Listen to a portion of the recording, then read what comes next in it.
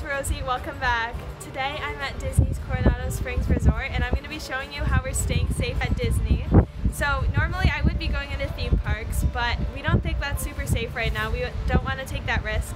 We're going to show you all the fun activities that we're doing instead. I still remember your number Can say those digits by heart with that first drink of the summer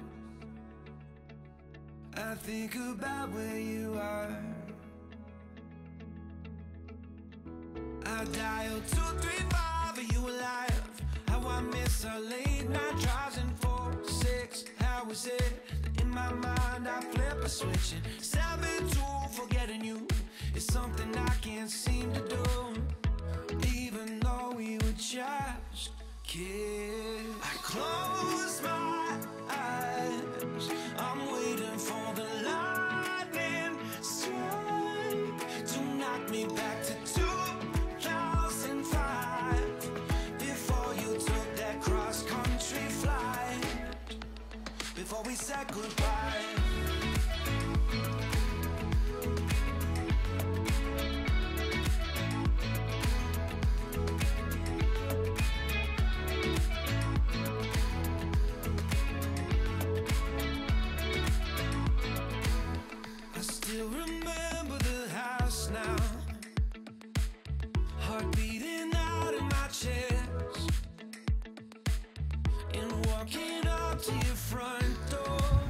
That we were staying in one of the buildings with exterior corridors so that we don't have any shared airspace with any other rooms. I can still see the address.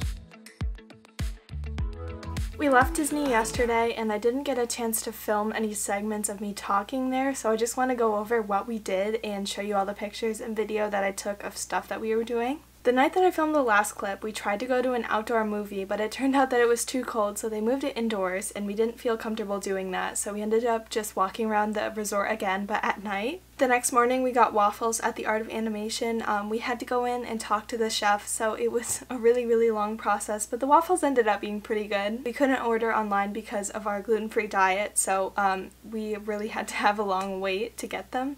Next, we walked around at the boardwalk, um, around the lake, and at the Dolphin and Swan resorts, and we saw Epcot across the lake, so that was pretty fun. And after that, we headed to Disney Springs for lunch. We ate at the boathouse and we got mac and cheese and a burger, and it was all super delicious. And then we went to a dedicated gluten-free bakery after. After that, we walked around Wilderness Lodge. Um, we went inside just for a little bit, and then we went out back and just like walked around the paths. We then went to Saratoga Springs, which we hadn't been to in either a really long time or just since they'd renovated, I think. We went through the resort and then we went across the river to the golf course and then we went back over the river um, to see the treehouse villas, which were really interesting.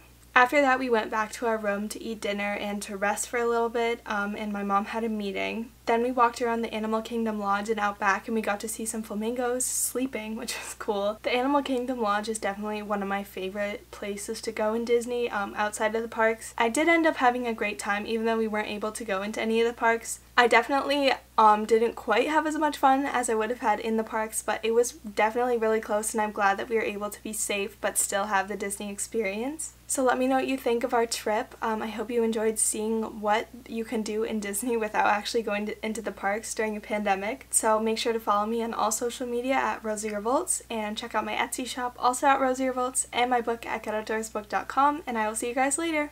Bye! I miss our late night drives and four, six hours.